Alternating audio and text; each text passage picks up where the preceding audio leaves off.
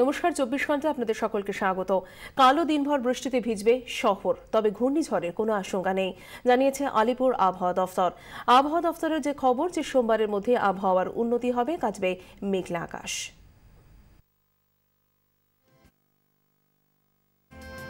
শুরুটা বেশ ভালোই হয়েছিল। পুজোর পরেই রাজ্যে ঠুকেছিল উত্তরে হাওয়া, কিন্তু মাঝখানেই ছন্দপতন। শীতের ওপেনিং স্লটেই ধাক্কা দিয়েছে নিম্নচাপের বৃষ্টি। পারাদ্বীপ উপকূলে তৈরি ঘূর্ণিঝড় নাডার ছোঁয়ায় শুক্রবার রাত থেকেই ঝিমঝিমিয়ে বৃষ্টিতে ভিজেছে শহর কলকাতা। শনিবার দিনভর বৃষ্টিতে শহরে ফিরেছে বর্ষার মেজাজ। তবে এ রাজ্যে ঘূর্ণিঝড়ের কোনো আশঙ্কা যে নেই, তা শনিবারই স্পষ্ট জানিয়ে দিয়েছে আবহাওয়া দপ্তর। আবহাওয়া দপ্তরের পূর্বাভাস, ঘূর্ণিঝড়ের থেকে রেহাই পেলেও নিম্নচাপের জেরে রবিবারও দিনভর বৃষ্টি হবে কলকাতা সহ দক্ষিণবঙ্গের সব জেলায়। শুধুমাত্র উপকূলবর্তী জেলার উত্তর এবং দক্ষিণ চব্বিশ পরগনায় ভারী বৃষ্টির সম্ভাবনা। সমুদ্র স্বাভাবিকভাবেই উত্তাল থাকবে এই সময় যার জন্য ছ তারিখ অবধি কোনো মৎস্যজীবীদের সমুদ্রে মাছ ধরতে যেতে বারণ করা হয়েছে। বৃষ্টির জন্য যে অসুবিধা সেটুকু শুধু হবে। শুধু বৃষ্টি। বৃষ্টি ছাড়া আর এর তেমন কোনো ডাইরেক্ট ইম্প্যাক্ট পশ্চিমবঙ্গে দক্ষিণবঙ্গের উপর পড়বে না। আকাশ পরিষ্কার? আকাশ সোমবার থেকে মোটামুটি পরিষ্কার পাবেন। আবহাওয়া দপ্তর জানিয়েছে নিম্নচাপটি রবিবার সন্ধে বাংলাদেশ উপকূল অতিক্রম করবে। গভীর নিম্নচাপটি এখন কলকাতা থেকে চারশো সত্তর কিলোমিটার দক্ষিণ দক্ষিণ পশ্চিমে অবস্থান করছে, যার অক্ষাংশ হচ্ছে আঠারো দশমিক পাঁচ ডিগ্রি উত্তর এবং দ্রাঘিমাংশ হচ্ছে সাতাশি দশমিক পাঁচ ডিগ্রি পূর্ব। ঘূর্ণিঝড়ে পরিণত হওয়ার এই মুহূর্তে আর কোনো সম্ভাবনা নেই। এটি ক্রমশ উত্তর পূর্ব দিকে সরে গিয়ে আগামীকাল, অর্থাৎ ছ তারিখ, আফটারনুন অথবা ইভিনিংয়ে বাংলাদেশ ক্রস, কোস্ট ক্রস করবে। বৃষ্টিতে শনিবার সকালে সল্টলেকের বিএফ ব্লকের একটি গাছ পড়ে যায়। এর জেরে যান চলাচল সাময়িক ব্যাহত হয়। পরে পুলিশের উদ্যোগে রাস্তা থেকে গাছটি সরিয়ে নেওয়া হয়। রবিবার দিনভর বৃষ্টি হলেও সোমবার থেকেই আবহাওয়ার উন্নতি হবে বলে জানিয়েছে আবহাওয়া দপ্তর। ব্যুরো রিপোর্ট, চব্বিশ ঘণ্টা। হেমন্তে অকাল বৃষ্টি, ধান পেকে ওঠার মৌসুমে নিম্নচাপের এই বৃষ্টিতে মাথায় হাত কৃষকদের। জলে ডুবেছে ধানের শেষ। রবিবারও পূর্ব মেদিনীপুর সহ দুই চব্বিশ পরগনায় ভারী বৃষ্টির পূর্বাভাস দিয়েছে আবহাওয়া দফতর। নাডার চোখরাগানি কেটেছে বটে। তবে সহজে ছাড়ান দিতে নারাজ বৃষ্টি। বৃষ্টির হাত থেকে এখনই রেহাই পাচ্ছেন না রাজ্যের কৃষকরা। শনিবার সকাল থেকে বৃষ্টিতে ভিজেছে হাওড়া, হুগলি, দুই চব্বিশ পরগনা, পুরুলিয়া, বীরভূম, বাঁকুড়া ও দুই মেদিনীপুর। আর মাসখানেকের মধ্যেই শুরু হবে ধান কাটা। তার আগেই হেমন্তের অকাল বৃষ্টিতে ডুবেছে পাকা ধান তাই ফসলের ব্যাপক ক্ষতির আশঙ্কায় কৃষকরা।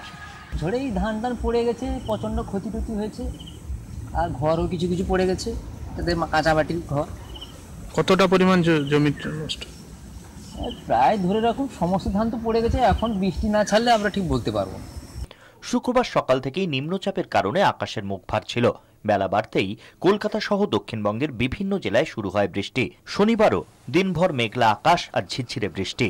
উপকূলে ঝোড়ো হওয়ার জন্য মৎস্যজীবীদের সতর্ক করেছে হাওয়া অফিস। ছ তারিখ শুধুমাত্র উপকূলবর্তী জেলার উত্তর এবং দক্ষিণ চব্বিশ পরগনায় ভারী বৃষ্টির সম্ভাবনা। উপকূলবর্তী এলাকায় along and off coast of West Bengal পঁয়তাল্লিশ থেকে পঞ্চাশ কিলোমিটার বেগে ঝোড়ো হাওয়া বইবে। যার জন্য সমুদ্রে মৎস্যজীবীদের যেতে বারণ করা হয়েছে। ঝোড়ো আবহাওয়ার জন্য দীঘা, মন্দারমণিতে পর্যটকদের সমুদ্রের কাছে যেতে নিষেধ করা হয়েছে প্রশাসনের তরফে। ব্যুরো রিপোর্ট, চব্বিশ ঘণ্টা। সামনেই জগদ্ধাত্রী পুজো আর তার আগে এই অঝড় বৃষ্টি। স্বভাবতই মাথায় হাত চন্দননগরের পুজো উদ্যোক্তাদের। অনেক জায়গা তো আজই পুজো উদ্বোধনের কথা ছিল, কিন্তু বৃষ্টির কারণে তা পিছিয়ে দেওয়া হয়েছে, তবে বৃষ্টি একটু কমতেই একেবারে উৎসবের মেজাজ এই মুহূর্তে গোটা চন্দননগর জুড়ে। এই মুহূর্তে ঠিক কি ছবি আমরা তুলে ধরার চেষ্টা করছি আপনাদের সামনে। চন্দননগরের কল্পকুরধার পুজো মণ্ডপ থেকে আমাদের সঙ্গে সরাসরি রয়েছেন আমাদের প্রতিনিধি কমলাক্ষ ভট্টাচার্য। কমলাক্ষ সকাল থেকেই বৃষ্টি হচ্ছে। খুব স্বাভাবিকভাবে আকাশের মেঘভারের জন্য যারা দর্শনার্থী রয়েছেন তাদেরও অবশ্যই মুখ ভার। কিন্তু এখন বৃষ্টি অনেকটাই কমে গেছে। এখন ঠিক কি চেহারা? কি আমেজ ধরা পড়ছে?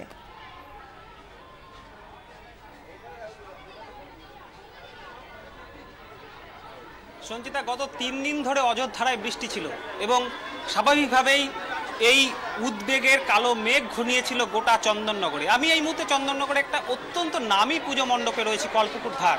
বিগ বাজেটের পুজো এখানে উদ্বোধন হয়ে গিয়েছে গতকাল রাজ্যের মন্ত্রী উদ্বোধন করেছিলেন। কিন্তু আমরা যা দেখছি ইতিমধ্যেই কিন্তু চন্দননগরে মণ্ডপে আহ, গতকাল থেকেই কিন্তু দর্শনার্থীদের ভিড় উপচে পড়েছিল এবং যত সময় গড়িয়েছে তত মানুষের ঢল চন্দননগরে এই পঞ্চমীর রাতেই কিন্তু আজকে আমরা দেখতে পাচ্ছি সেই মানুষের ঢল চন্দননগরে এসে পড়েছে। কিন্তু মানুষের মধ্যে একটা উদ্বেগ ছিল যে এই বৃষ্টি উপেক্ষা করে আদৌ কি দর্শনার্থীরা তারা মণ্ডপে আসতে পারবেন? তুমি দেখতেই পাচ্ছ যে বিশাল বিশাল মণ্ডপ তৈরি হয়েছে এবং তার সঙ্গে থিম তৈরি হয়েছে, দর্শনার্থীরা এসে পড়েছেন। কিন্তু আজকে বিকেল থেকে পরিস্থিতিটা বেশ কিছুটা বদলেছে। এবং তার সঙ্গে সঙ্গেই কিন্তু মানুষজন ইতিমধ্যেই নেমে পড়েছেন। এই বিভিন্ন পূজা মণ্ডপগুলোতে, এই কল্পকুর ধারেই ইতিমধ্যেই কিন্তু বিভিন্ন জায়গা থেকে দর্শনার্থীরা, আমি তোমাকে দেখানোর চেষ্টা করব যে দর্শনার্থীদের ভিড় এই মুহূর্তে মণ্ডপে কীরকম রয়েছে। এবং সময় যত গড়াচ্ছে, চন্দননগর তার পুরনো চেহারায় ফিরছে ঢাকের বলে এলাকার মানুষ।